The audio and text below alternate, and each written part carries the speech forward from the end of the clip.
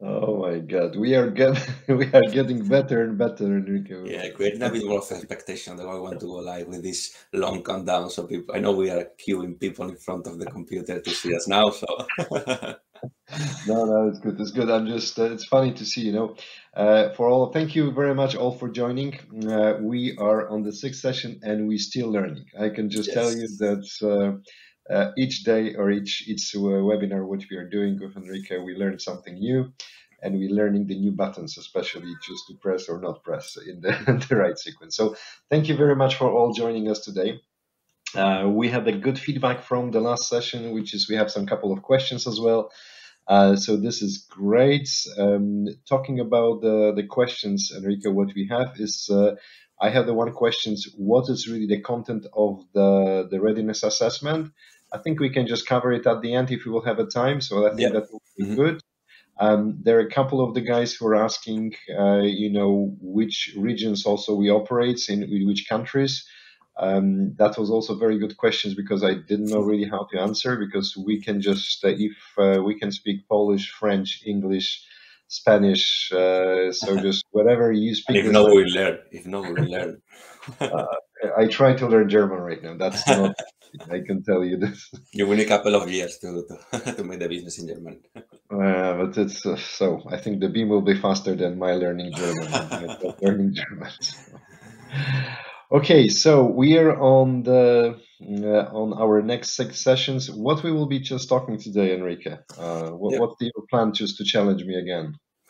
So welcome everyone to the sixth episode. We are gonna today make a recap about the things we are covering. By the end of the of the season, the recap will be gone. So slowly gonna get bigger and bigger. Um, today we're gonna get uh, a deeper knowledge about some technical aspect of BIM, which are the dimensions and the levels. So we're gonna see what are the dimensions of BIM and what are the levels of detail of BIM. So, so what you're telling me that after the sixth session, I supposed to already remember the, the all of the basics. So what is the maybe, maybe not after the sixth, but soon, soon, soon, because you see this rec- this recap first one is is, uh, is growing and growing, and I know we have many people joining and joining. I don't want them to miss because for me it's important that you keep more or less a track of the things we are we are explaining through the webinar. So um, that's why I want to repeat myself with this visualization and information. I know that everyone knows this uh, this core two words from the for the BIM definition. Okay, but, uh, that's fine. Yeah, so let's go there. Spend quickly five minutes going through this recap of what we saw since we start with the with the webinars. First of all, what is BIM? Building information modeling are the words behind this acronym, and this is the combination of the visualization and the information we are delivering representation of uh, virtual representation of 3D models for projects or objects with information inside. Okay, this is the main difference. This is not 3D design. It's not delivering um, documentation with uh, with some properties of the products. It's all together. Okay, the visualization and the information all together. And the things which are not BIM, this is not specific software. Uh, we said before, no 3D design. We also cover some aspect at about how it can benefit other different departments of the of the business like sales or marketing. So it's not only for the AEC sector technical sector. Mm-hmm. and the the last and very most, most powerful word the no unlinked data. Remember this is a project who manage a resource methodology which manage the whole life cycle of the project.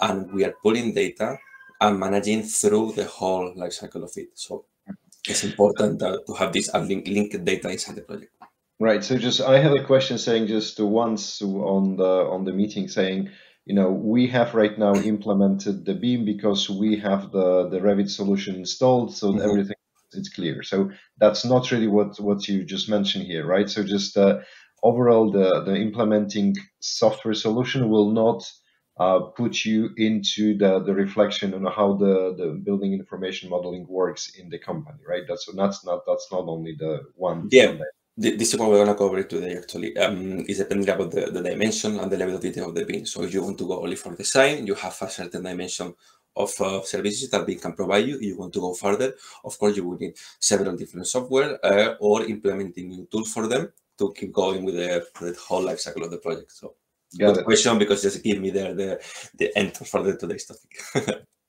okay, thank you. Good. So on the second session, we cover things about the the off what BIM offers in general scope about the project. We deliver the three different type of services: architectural, engineering, and the M- MEP, which are the mechanical, electrical, plumbing on different installations on the on the project. And the most likely solution to be used are the clash detection to generate documentation as bill of material, material takeoffs, and the what we just talked now, the CD, remember this common data environment, and the life cycle assessment. So all these services and solutions implemented with the BIM methodology can lead to a reduced cost, to save time, and increment the productivity in a general scope of the project. Um, lately, lately we, we cover who is BIM, deliver the their five main actors, the five main actors, sorry, of the of the construction project, such as architecture, facility managers, investor, manufacturers, and engineers, and what are their main benefits to use BIM or reasons to use the BIM. Mm. Here, I will highlight the communication, coordination, and collaboration, which is mandatory and necessary between of them if they want to work under the BIM methodology. So those three C's are also part of the key definition of BIM, along with this visualization information, because it's a methodology that requires communication, coordination, and collaboration between different parties to have a successful implementation.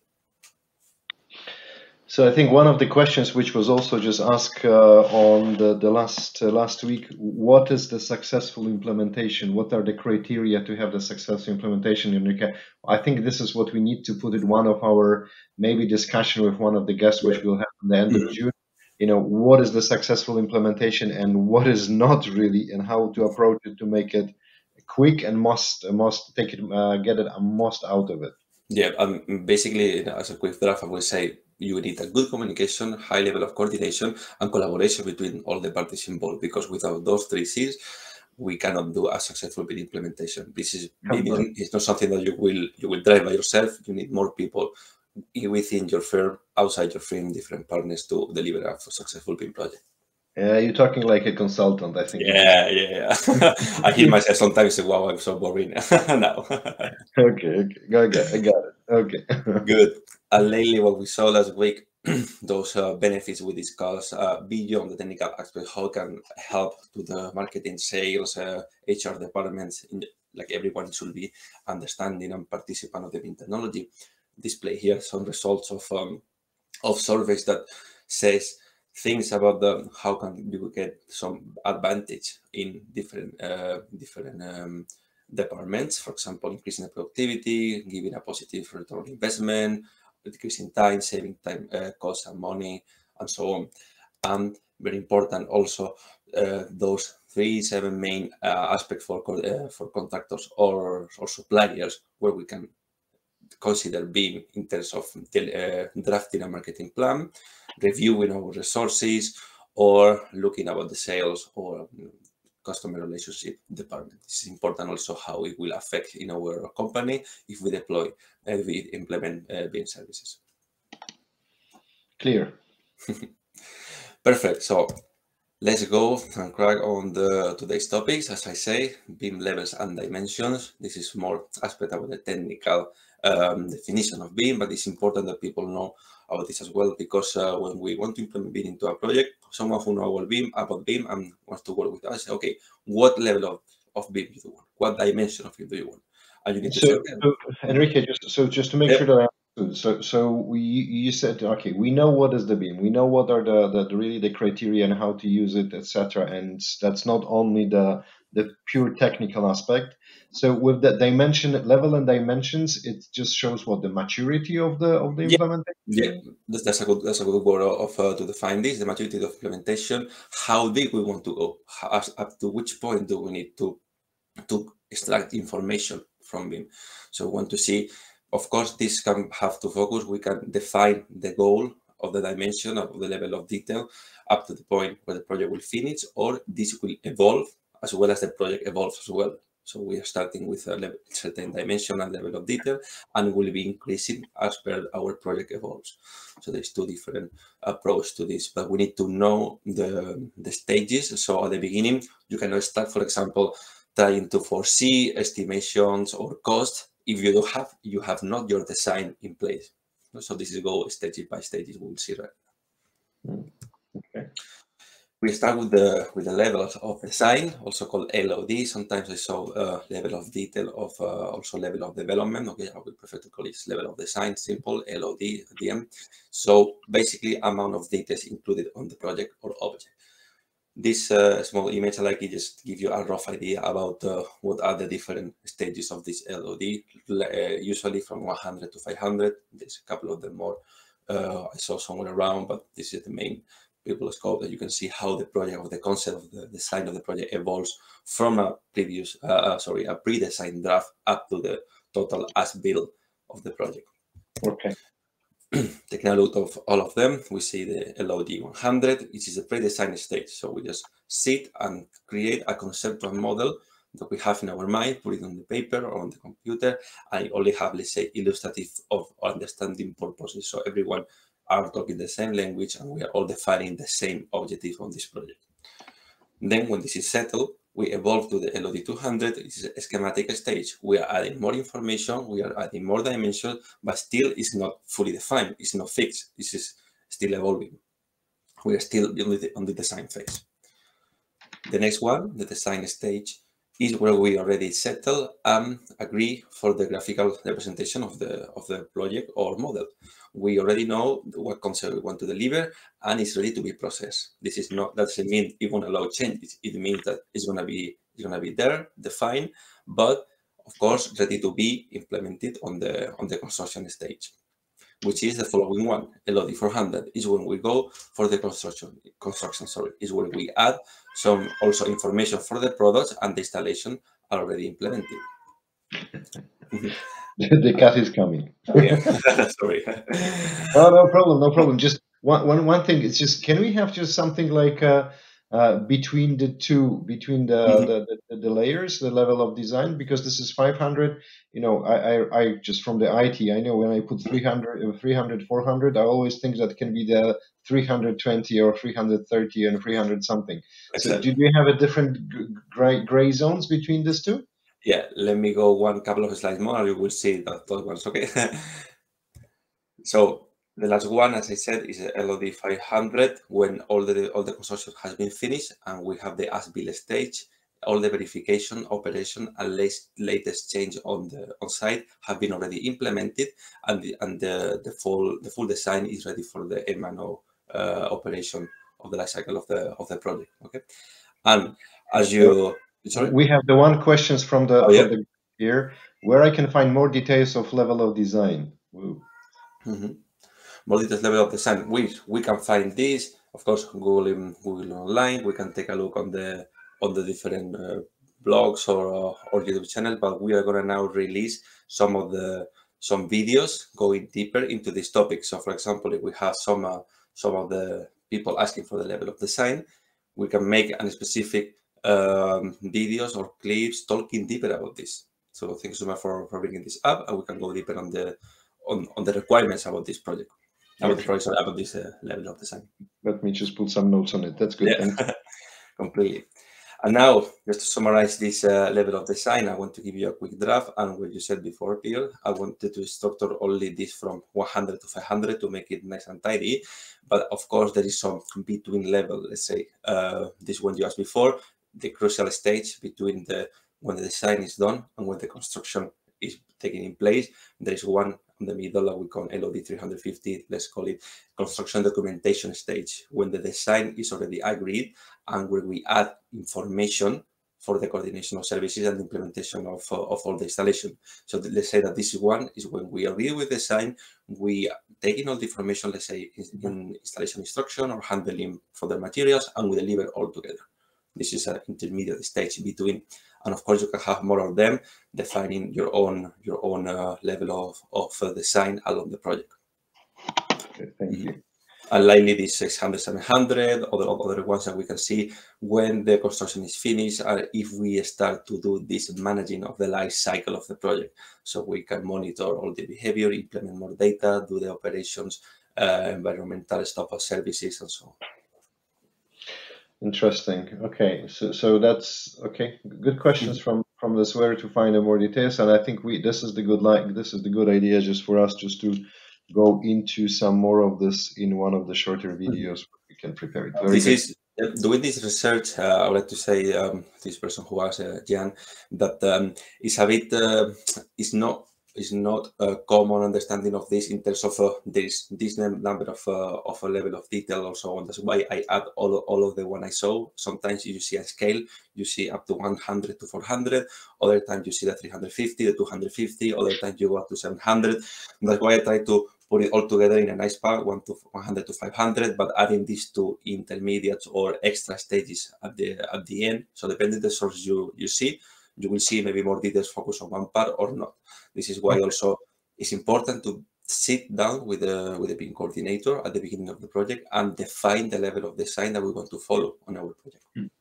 Yeah, it's, it's interesting because you know the, the BIM coordinator is just it's for sure it's a job which you will have it in the big companies. But if you have the company of 30 people or 40 people, I, I think you will not have the BIM coordinator. So mm-hmm. so we need to think about it as, as well. That that's yeah. also come to my mind, you know, how we will talk to the different comp- different company size, right? We have experience with the big one, but maybe there is something which is uh, we need to think, you know, how to really do this for the, the smaller companies. That, that's why um, uh, it has been has an impact also on the HR department. For example, if we decide to implement BIM in our company, we need to look at our resources, our personnel, see if uh, if there is people inside the company which are able to take those roles, if they need information, or we need to bring them over.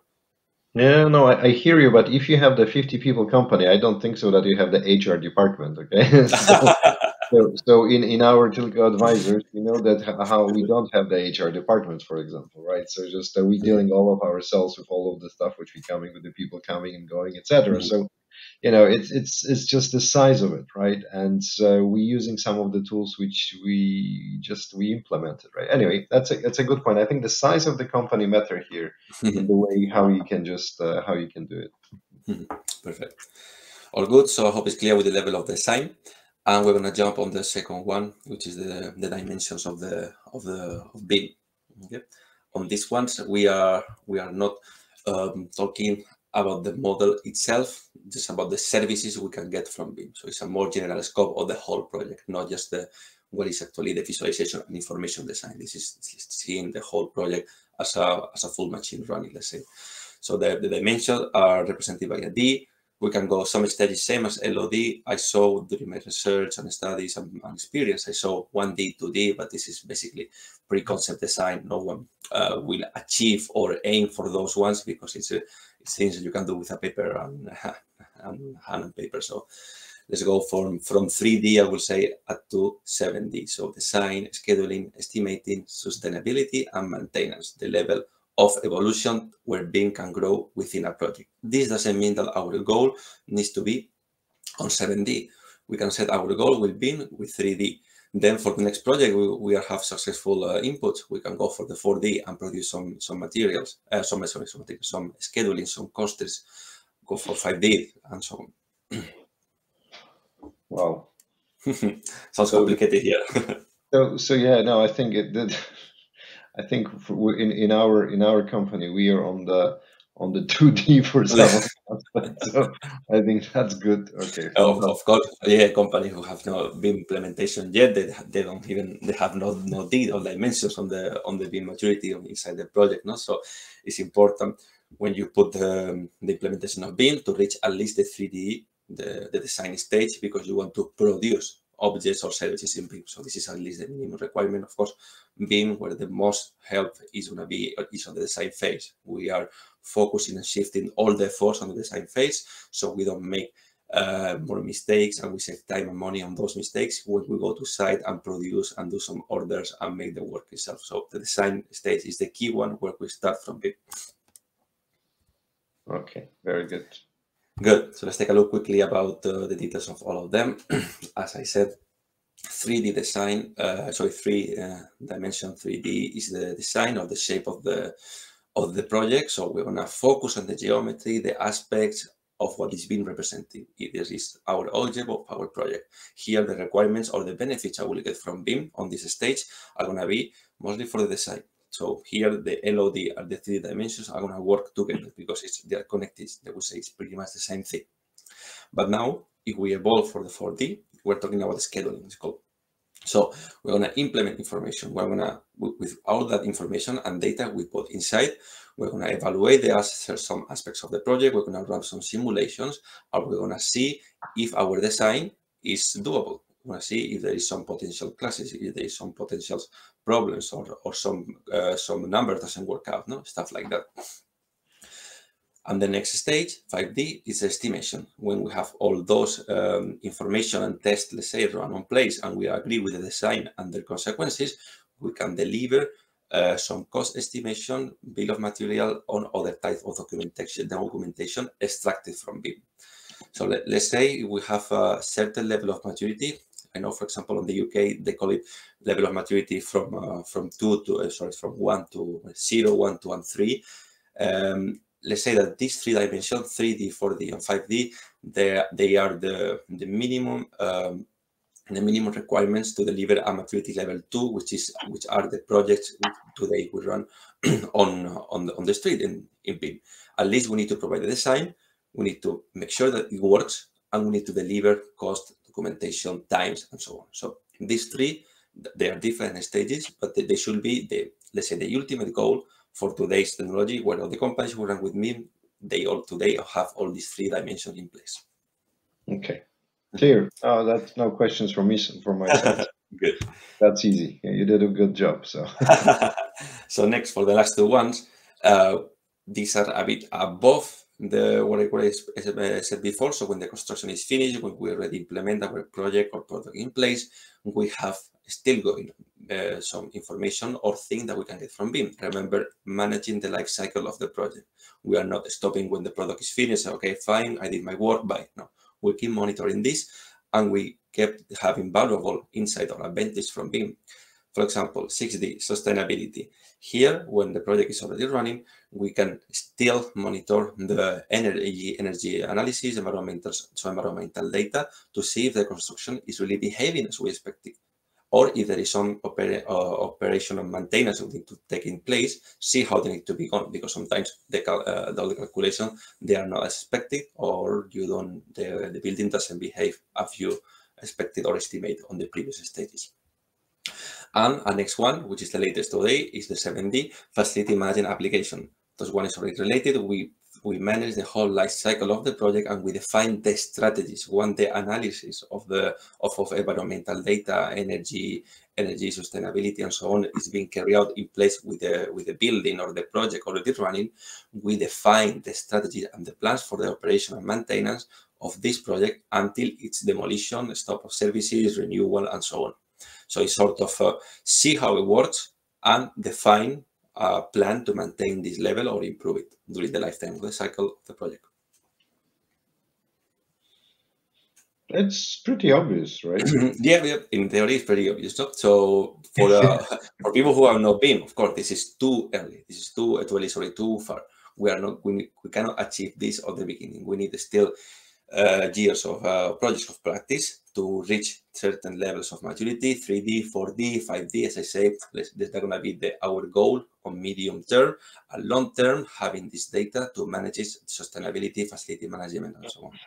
You know but one, one of the things excuse me one of the things which when, when you go back for just for a second yeah, uh, uh, i just don't get it why the sustainability is a 6d and the facility is 7d because you know you will have the on the facility management application you will have also the sustainability. So i'm, I'm not sure mm. that i understood that. Yeah, yeah it's, it's related it's true that it's related but um, we need to see it from the when the construction is done we have the as built project in place if we're talking about a building for example.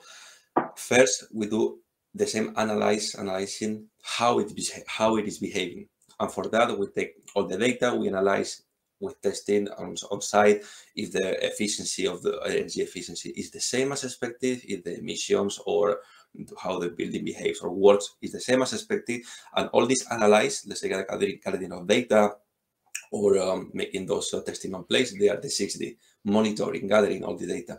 And when we have all this information, we design the plan or the strategies to carry out operational maintenance of lifecycle management of the project.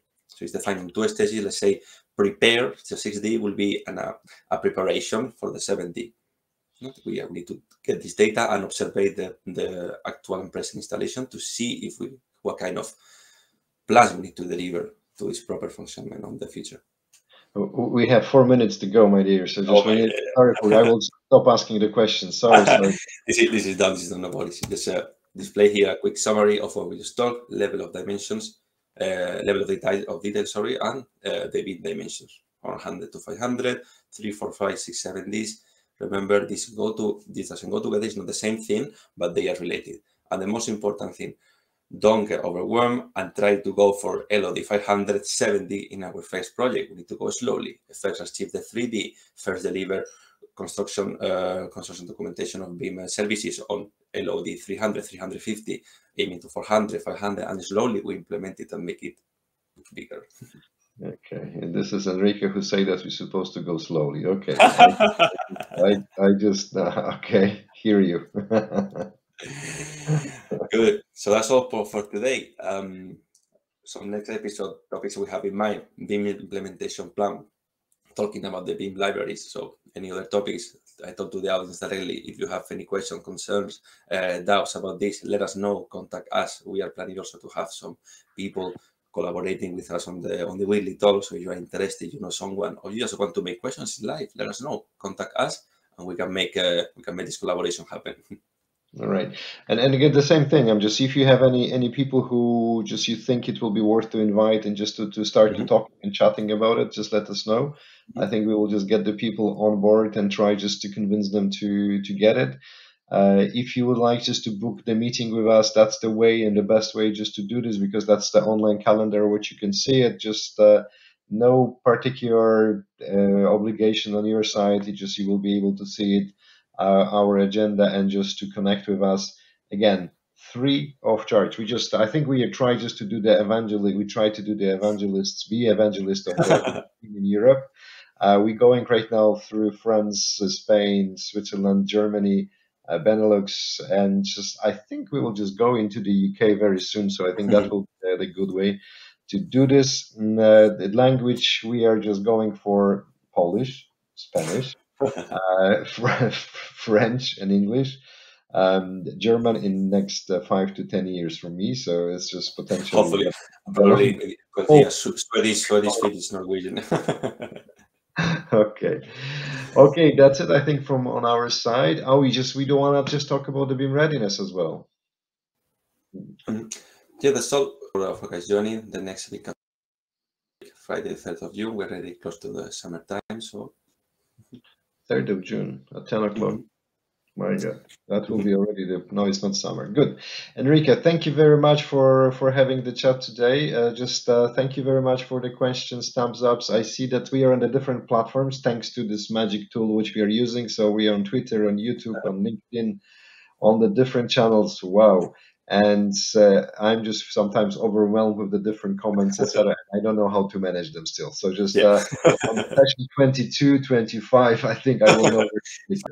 one day we're gonna make one session before we finish this season, gathering all the comments and do like a okay Q and A Q and A session. So that's a good one. Oh my God, you're just a good, good, good Friday.